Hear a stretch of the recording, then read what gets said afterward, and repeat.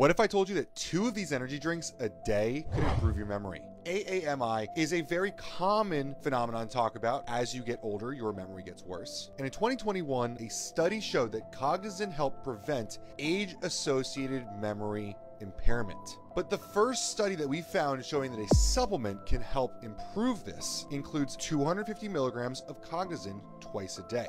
The study was double blind, neither the users nor the researchers knew who had it, placebo controlled, so of course they're comparing against a control, and of course randomized, making it one of the strongest types of data available. We combed through this data, looked at all the different methods that they used, and we were very impressed, but of course do need to note this was in adults, older adults, to show age related impairment. For a long time, we saw 500 milligrams in every pre workout, and now that we've started to get into energy drinks, we see more often 250 milligrams. But as long as you're consuming it twice a day, you're hitting what this study will tell us will help you improve your memory as you age.